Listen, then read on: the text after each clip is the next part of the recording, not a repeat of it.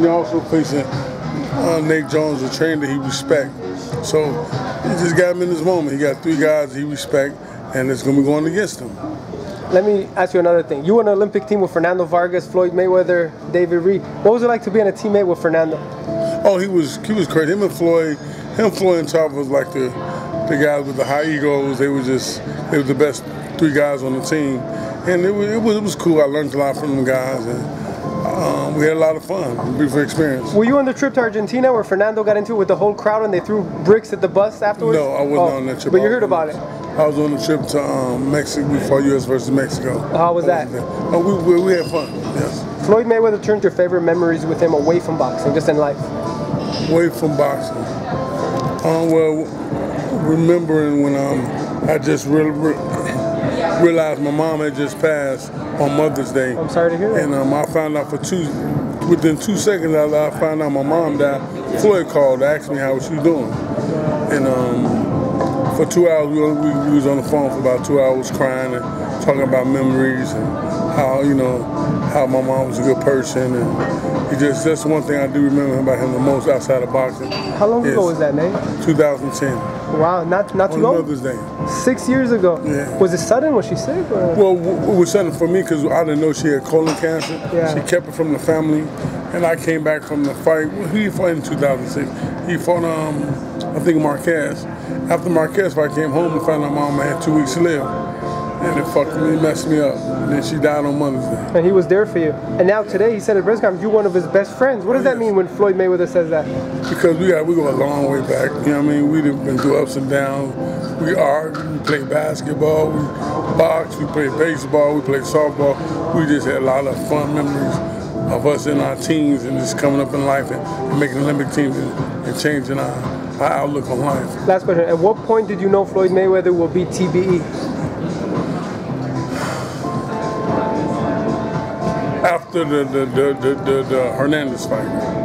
But After he won the title. Yes, after. The, but before then, he was telling us all amateurs every day. I'm gonna do this. I'm gonna do that. And I just thought he was a lot of talk.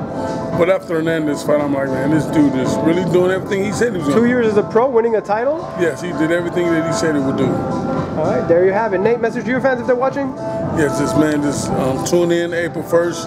Um, we're gonna dethrone AB. We're gonna Ashley Theophane's gonna be the junior welterweight WBA champion of the world, and a beautiful future for 2016 for Ashley and Nate Jones and his team. Before I forget, Nate, Mayweather, Danny Garcia, if he comes back for number 50.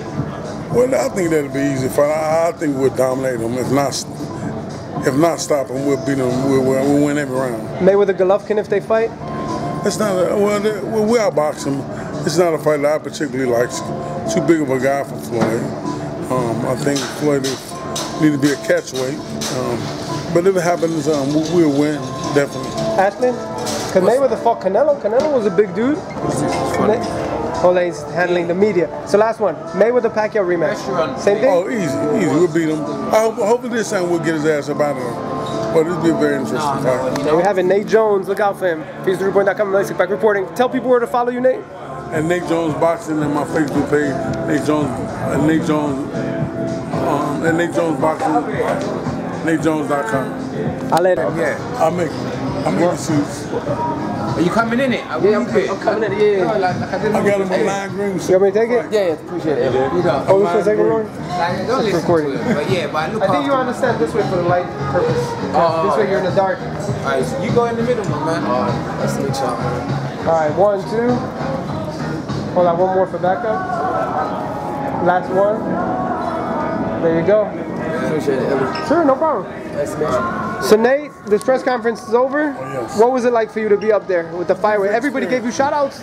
Beautiful experience. You know, fighting for um, a world title is, is, is, is my dream. As, as a trainer, training someone for a world title means the world to me. It's, it's very big.